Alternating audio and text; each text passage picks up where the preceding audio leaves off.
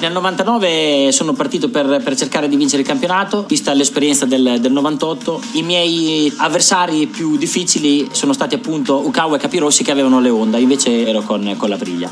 Soprattutto con Capirossi in quel periodo eravamo molto avversari perché intanto eravamo tutti e due italiani, no? E poi Capirossi l'anno, l'anno prima correva con la Priglia con noi, era mio compagno di squadra, diciamo, poi si è mosso sulla Honda e quindi è stata una battaglia interessante per tutto il campionato. Mi ricordo che Jerez era stata una vittoria molto importante perché la gara prima avevamo corso in Francia alle Castellet e io ero in testa e avevo rotto la catena all'ultimo giro.